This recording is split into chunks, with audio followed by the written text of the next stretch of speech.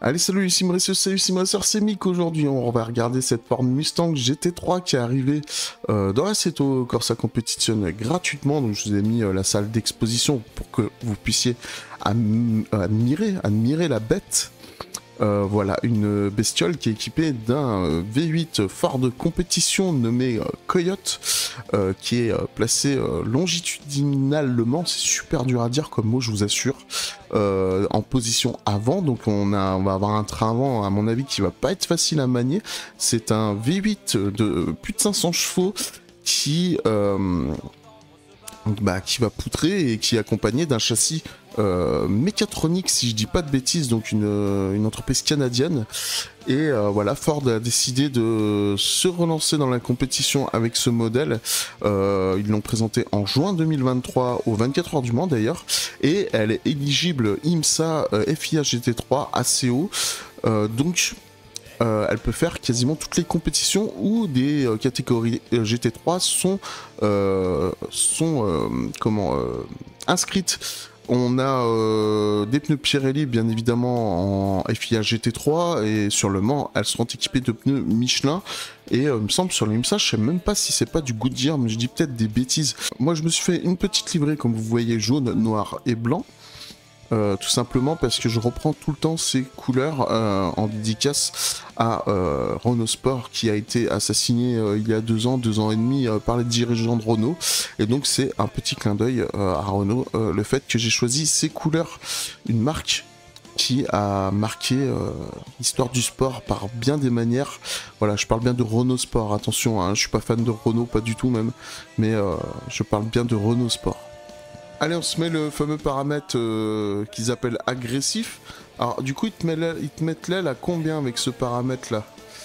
Euh, L'aile à 0, ok. Allez, on va tester cette Mustang. À Monza, obligé, obligé. Vous avez vu comme, euh, le moteur a l'air tiré long.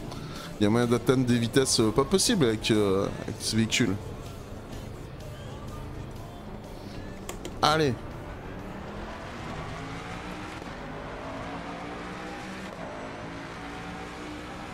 Ah, j'adore le son, y a rien à faire, j'adore le son.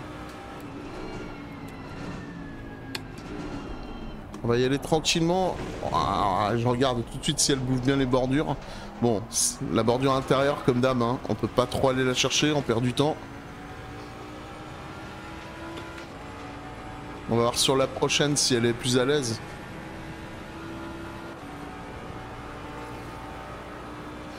Oh, ça tire long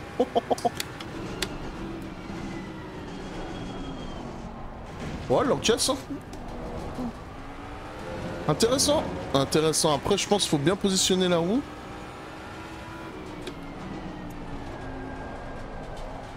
Là, l'avant euh, l'avant bouge, mais pas, pas de ouf non plus. Hein. Oh, ça allonge, ça j'arrive même pas à passer la trisse. Oh, comme elle mange les bordures. Ah, les gobes, quoi, les... Elle te gobe ça euh, sans problème. T'en es déjà à 255 km h en cinquième. C'est n'importe quoi cette caisse. Elle s'arrête jamais. Faut, faut, pas hésiter à repasser en 1 en fait, tellement elle a de la longe.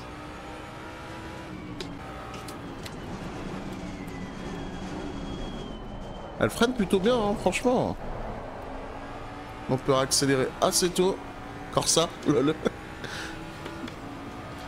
Allez, on va passer en 49. Bon, c'est pas très rapide, mais... 49 hauts, mais c'est pas très rapide, mais bon, il a pas de setup ni rien. Franchement, elle est trop cool. Elle est trop cool. J'ai pas fait de setup particulier, hein. j'ai repris le setup euh, qu'ils appellent euh, humide. Elle arrive un petit peu euh, comme un au milieu d'une réunion. Euh, l'agencement intérieur, le dashboard, il est clair, il est lisible. Il y a un petit rappel au logo Ford avec euh, cette forme ovale là derrière le chiffre. Euh, donc forcément, bah moi ça me plaît, hein, c'est ovale. si vous me connaissez bien, vous aurez compris pourquoi je dis ça. Bien, parlons-en d'ACC sous la pluie.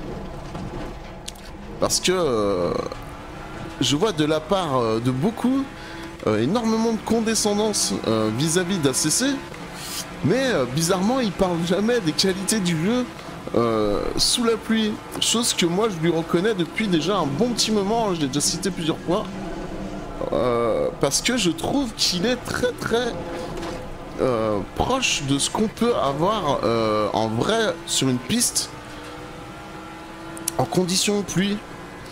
Euh, là où d'autres jeux exagèrent largement le comportement des véhicules à, le freinage, euh, le comportement des véhicules euh, sous la pluie, je trouve qu'ACC fait des choses de manière très bonne. Ça, ça colle plutôt bien à la réalité.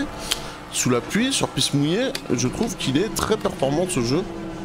Et en fait, il y, a beaucoup de gens qui critiquent ce jeu hein, sur YouTube ou ailleurs sur Twitch et tout, avec d'ailleurs beaucoup de condescendance. Alors souvent c'est des gens qui sont fans de qui sont fans euh, de RF2, de iRacing ou autres. Et euh, quand tu les écoutes, t'as l'impression qu'ACC euh, c'est c'est du simcad limite. Mais bizarrement, on les voit jamais piloter ou rarement piloter sous la pluie et parler des qualités de ce jeu sous la pluie.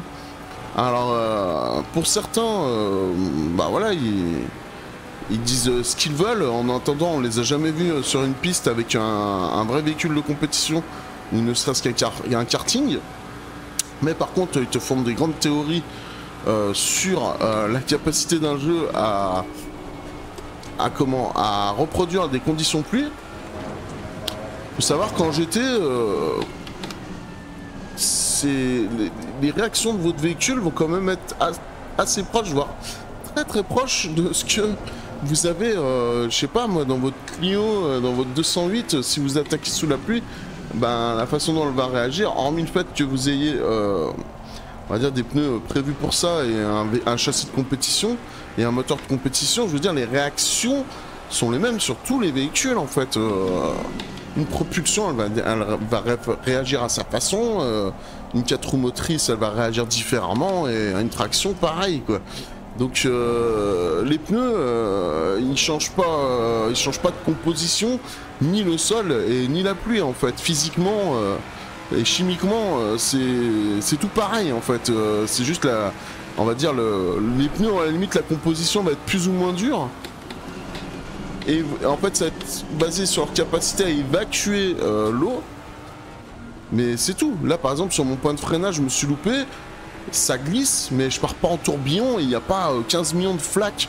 Par exemple, là, comme dans, dans Air Racing, où en fait, euh, tu peux pas faire un circuit sans que. Euh, t'as l'impression que les, circuits ils pas été entretenus depuis 1972 et que t'as des flaques de as des flaques de 8 mètres de partout et en fait tu peux pas passer à un endroit sans que t'aies des effets d'aquaplaning c'est complètement ridicule là au moins ça nous offre quelque chose de, de probant alors, euh, malheureusement, on va dire, la, la physique des pneus n'est toujours pas au point. Euh, elle est même euh, moins bonne qu'avant, mais au moins le jeu, il offre cet aspect-là très très positif où en fait d'autres devraient en prendre de la graine parce qu'on a vraiment en fonction des surfaces sur lesquelles on passe, des changements de comportement, en fonction des surfaces sur lesquelles on freine, des changements de comportement qui sont logiques, qui sont pas exagérés en fait. Et euh, même la glisse, on la sent de manière euh, logique. Donc ça, je tenais à le souligner quand même parce que vraiment, il y a, du, bashing. Il y a du bashing sur ce jeu euh, pour beaucoup de choses. Hein. Même moi, j'ai dénoncé des choses qui me plaisent pas. Mais franchement, sur, sur ces conditions-là, il, est top. Hein. Franchement, il est top. Elle est pas si à emmener, mais euh, une fois qu'on a compris en fait que le moteur était sur l'avant, c'est-à-dire qu'on freine en conséquence, elle est, elle est plutôt saine en fait. Je trouve qu'elle est saine. Elle est, elle a un moteur avec une allonge mais démentielle. On voit vraiment que les mecs qui sont venus euh, casser, euh, pour casser des fesses aux 24 heures du Mans. Là, j'arrive vraiment pas à freiner ici. Ils sont venus pour casser des fesses aux 24 heures du Mans et point barre. Et euh, à mon avis, elle va faire très mal dans les unodières parce que vu l'annonce qu'a le moteur, regardez-moi ce mélange à jaune, blanc, noir, et ce son quoi. Franchement, elle va faire du bruit. elle va faire grave du bruit, celle-là. Elle va être incroyable, franchement. au Mans, au Mans et dans les courses de GT3 en IMSA et tout, ça va être, ça va être régal. Ça va être régal. Mon, mon, avis, bah tout simplement, c'est cadeau. Dans tous les cas, c'est cadeau. Donc je veux dire, le jeu, il n'y avait même pas de critique en fait à faire. Je veux dire, même si elle était toute pérave. Hein. Voilà. On propose une bagnole gratos dans un jeu. Il rien à dire, quoi. C'est tout, point barre. Donc, euh, merci. Merci, euh, Kunos, Simulazioni, de nous offrir ce beau cadeau. Parce qu'ils auraient pu le vendre en DLC. Ils l'ont pas fait. Et ensuite, bah, la voiture en elle-même, déjà, je la trouve ultra belle. Elle est vraiment trop, trop, trop belle ça fait plaisir d'avoir une bagnole américaine, ou plutôt nord-américaine, puisqu'il y a les, Canadiens de Métronique, Mécatronique pardon, qui participent au développement de cette voiture, hein, un petit peu comme euh, Oreca euh, s'occupe de la fabrication des châssis euh, de la 296 Ferrari. Pour ceux qui ne le savaient pas.